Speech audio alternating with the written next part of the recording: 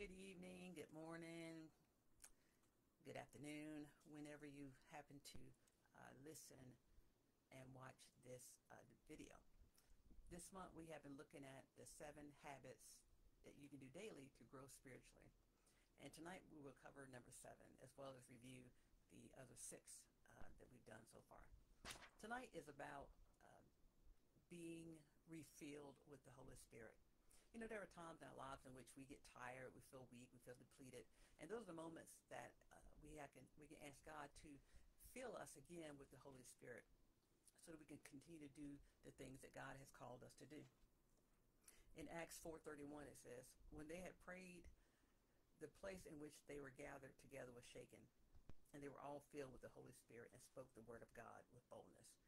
You see, when we have the Holy Spirit within us, we can do anything. I mean, scriptures tell us that with Christ, um, I can do all things with Christ who strengthens me. In those moments, we just need to say, God, I need your help. Fill me with your spirit.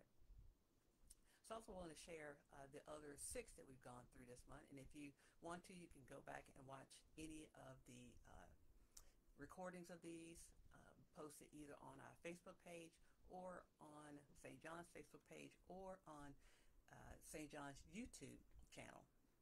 Anywhere you want to look, those are the places you can find it. So number two was spend time with God in the morning. You know, so often we get up and we rush out of bed. How about we just spend time with God in the morning, do a devotion with God in the morning, pray, uh, just kind of, just kind of be in the presence of God in the morning. The third one was to feed your spirit with other resources. Know, reading this, reading the Bible is not a bad thing. I encourage all of us, myself included, to read it on a regular basis, if not every day. But also, there are times that we can uh, enhance our reading with other sources, like other books, other novels. Uh, Max Lucado is a great author. Uh, Paul Yancey is another one that you can also uh, pick up books by that are uh, spiritual, that are faith-based, that you can read to help incorporate and help grow you even more spiritually. Spend time in quietness. Now, this particular one is a very uh, much a challenge for those that are extroverts. As introverts, not a problem spending time in quiet. Uh, but for those who have a challenge, think about it in the sense of when you go to the bathroom, just kind of spend time just being quiet. Don't take your phone like many of us do and sit on the sitting in there and play on TikTok or play a game.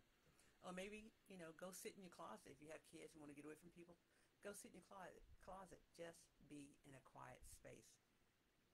Another one is to spend time with others who strengthen you. You know, again, we can read the scriptures all day long, but unless we are challenged by others, we really don't know if what we are reading we are absorbing into our spirits. For example, if someone comes to you and uh, is in distress and need a word of prayer or just need a word from God, if you haven't been reading and spending time um, in the scriptures, you don't know that you are or are not prepared to provide a word based on the scripture.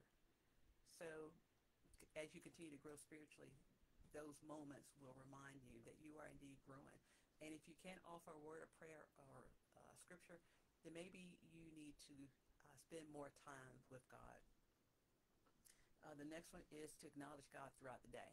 And this is more than just saying thank you God for something. This is about really paying attention to the blessings that you have throughout the day. The little things and, the, and the big, as well as the big things, but especially the little things. You know, we often thank God for uh, our jobs and our families and things like that. How about just acknowledging God for the fact that maybe you were able to avoid an accident because you either left five minutes later or five minutes early.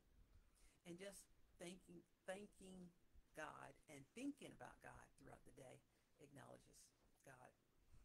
And the one we looked at last week is another challenge one, and that is to say no to things that we don't have to do or that we should not do. Uh, studies have shown that 85% of what we do, others can do. 10% of what we do, we can train someone to do and 5% of what we do are the things that we can only do. And too many times we focus too much on the 85% and not on the 5%. So I pray that these uh, habits that I've talked about and shared throughout this month uh, will help strengthen your, your spiritual growth. And, and if it does, let me know. I would love to hear uh, from you. As we close out the time together, let us pray. God, I thank you for this time. I thank you for these habits. And I pray, God, that those that uh, hear will receive them and incorporate them into their daily lives. Remind us, God, that you are always present in and around us. And as we go spiritually, help us to learn more about you as well as learning more about ourselves. God, be with those that may be struggling right now. Be with those that may be having health issues, uh, family issues, or whatever's going on, God. We know that you are there in the midst of it, and you can work it out for their good. So, God, I thank you and I praise you for all that you continue to do for all of us and through us and all that is holy, in the name of Jesus Christ. Amen and Ashe. Take care, and I will see you next week.